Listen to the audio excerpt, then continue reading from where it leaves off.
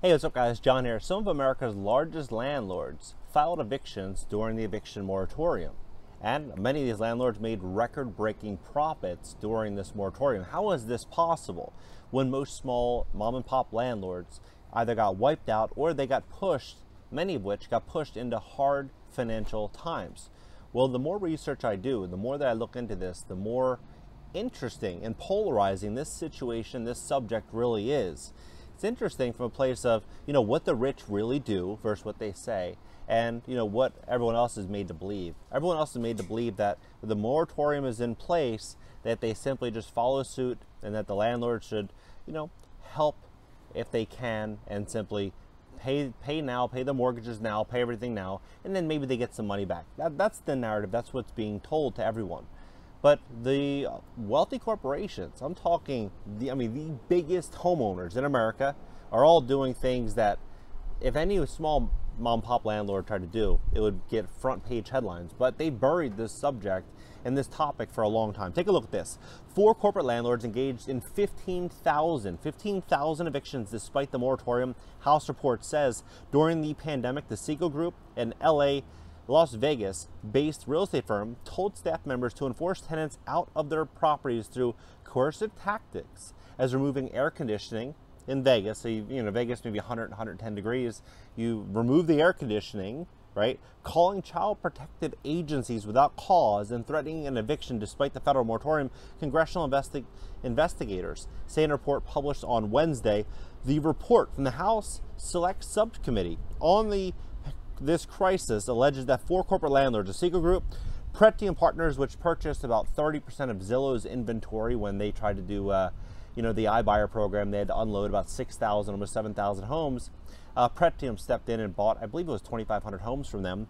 Uh, Invitation Homes, which owns about 90, 85, 90, 92,000 homes.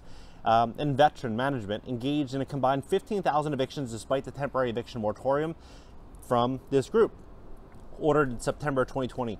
Rather than working with the cost burdened tenants abiding by the applicable eviction moratoriums and accepting federal rental assistance, they, the federal uh, rental assistance that they talk a lot about, in California, they've only issued 2% of those funds. In Florida, 2% of those funds. In New York, I believe it was between 2 and 3% of the funds. So a lot of this money that they said was uh, being sent out to tenants, being sent out to landlords, there was a lot of red tape and they simply didn't have access to it. The tenants would have to fill out a lot of burdensome paperwork.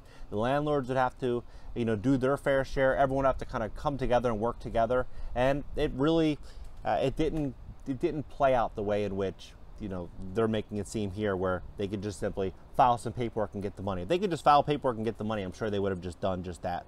Because who would want to go through all the headache uh, if they could easily just, you know, file a piece of paper and get a check in the mail. These companies with properties across 28 states expedite evictions above all else. According to the committee investigator, the Siegel Group, which owns and operates about 12,000 hotel rooms, many rented by the week, filed at least 774 evictions during the moratorium which was extended by the Biden administration and lasted until August. NBC News published a story in 2020 that described evictions during the pandemic by Invitation Homes, Pretium, and Ventron.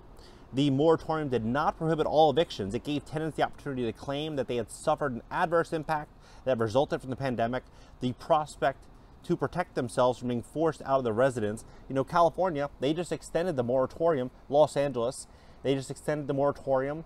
Uh, Los Angeles, the entire county extended until uh, June of 2023, but Los Angeles proper extended without an a without a deadline, right? There's no end date. Before it was 30 day, 60 day, 90 day extensions. They did that for about two years. Now they're moving in the direction where there's just no end date. And so you ask yourself, these corporate landlords, what are they going to do? Do you think they're going to sit there and just hold the weight with over 700,000 tenants just in LA County alone not paying?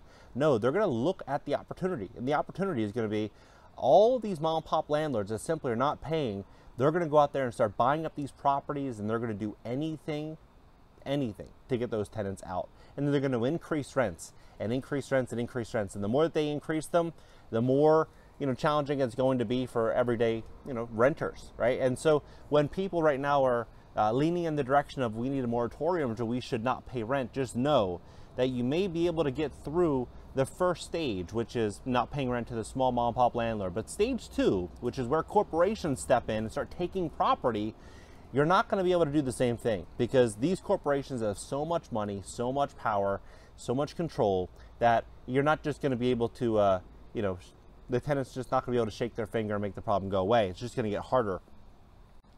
The moratorium did not prohibit all evictions. It gave tenants the opportunity to claim that they've suffered, right?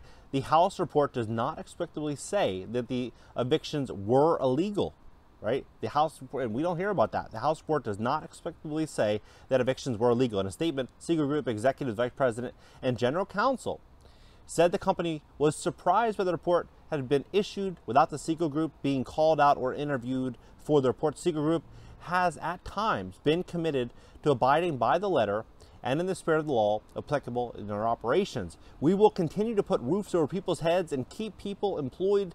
This is what we have always done. Siegel cares. But at the end of the day, they are a business and businesses need to make money to stay in business. If we went to a cafeteria or a cafe, you know, this cappuccino here, if I were to go into a cafe and, and simply order a cappuccino and take this cappuccino and just walk out with it and say, you know what, someone else said it's free, who is in the wrong? Would it be me? Would it be the cafe? Or would it be the third party? Right? That's up for debate.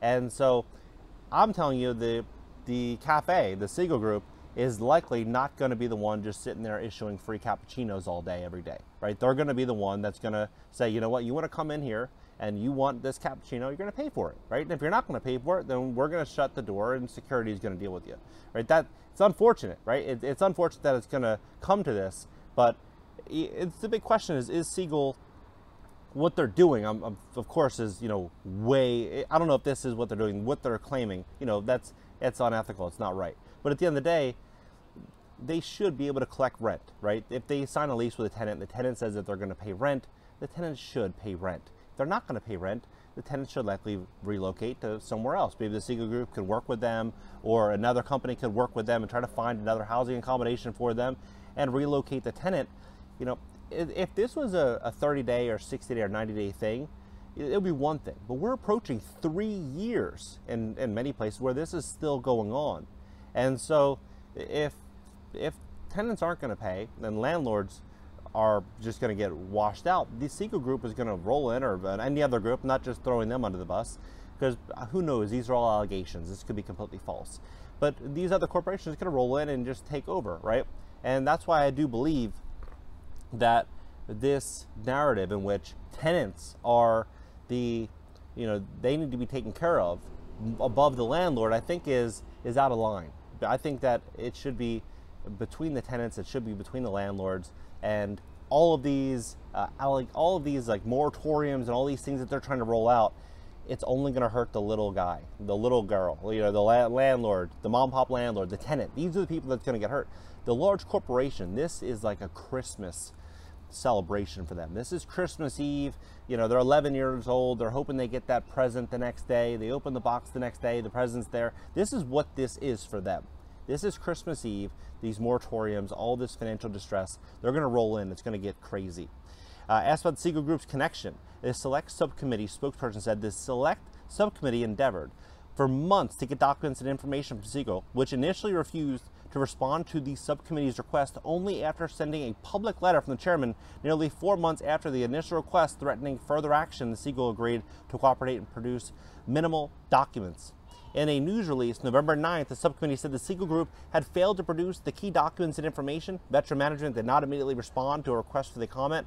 In a statement, Pretium spokesperson said the company has always complied with the moratorium no resident covered by a valid moratorium or valid declaration has it ever been evicted from their homes for non-payment of rent.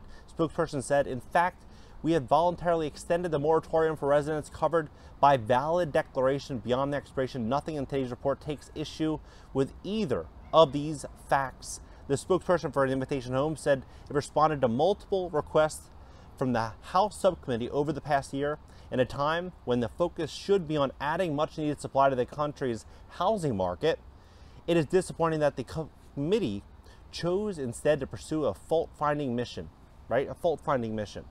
Who is at fault? That's the big question. Is it one of these large corporations? Is it the third party? Is it the tenant? You know, I'll leave that up to you guys to decide. Who do you think is at fault here?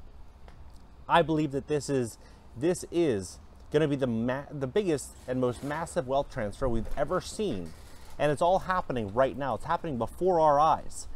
What do you think about it? The next three years, it's going to be huge in real estate. The biggest, biggest wealth transfer.